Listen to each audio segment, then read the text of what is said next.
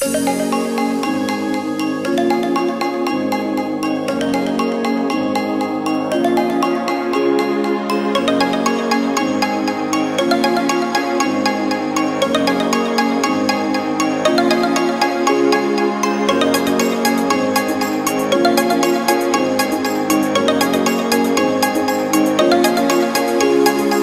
up, everybody? Welcome back to the channel. Today we're back with another video. Christmas special. Got something special today. I let I let White Fiona tell y'all what's going on today. So we're doing gingerbread houses. Um, me and my family been doing it for about 13 years now. Um, so tradition continues. We got a new addition this year.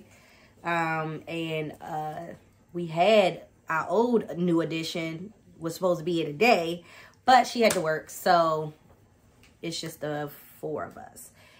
Y'all already met Courtney. Now you have to meet my brother Jeremy and my niece Bailey. All right, guys. So this is Jeremy, everybody, and my niece Bailey. Hi, Bailey. Say hi, Bailey. She doesn't know what's going on, so and everybody knows Courtney. Happy Christmas, everybody! I'm so glad that we're all here together. So we're about to open a couple of gifts for them since they won't be with us on Christmas morning. They will be with their miniature families that they have created themselves. And then we're gonna do the gingerbread house. So stay tuned.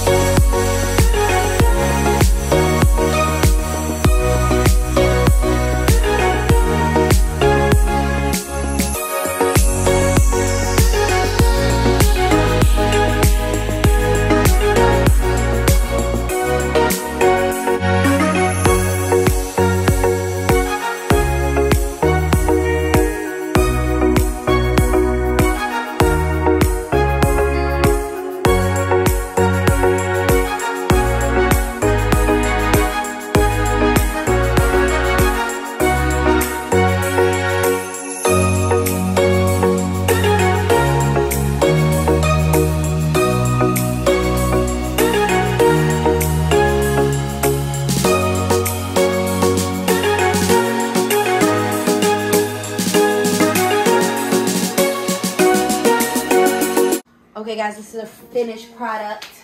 This is Jeremy side right here. Magnificent with the reindeer in the front and one in the window.